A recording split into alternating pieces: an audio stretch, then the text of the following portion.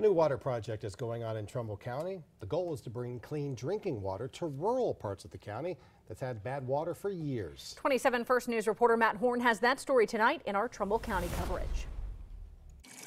For as long as people can remember, drinking water in parts of Trumbull County has literally been, well, undrinkable. But right now, these people need water. West Farmington has water they can't drink. County Commissioner Frank Fuda, along with other commissioners, have been working closely with state lawmakers and the Ohio EPA to change that. Well, this means uh, the possibility of water for so many people that really need it really badly.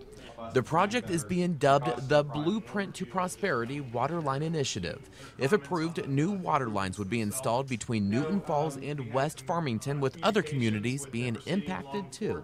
And it's ultimately going to benefit a lot of communities. There are still three steps to make this project a reality. That includes West Farmington and Southington Estates community will have to buy water from the county. Ohio EPA funding has to be secured between grant and loan money. Representative Sean O'Brien says this will still cost upwards of $15 million over 30 years, but he says it's a good deal for taxpayers. People of Trumbull County obviously will pay it, but they're not going to pay with any interest payments. People in the communities impacted will have a chance to voice their opinions on the project.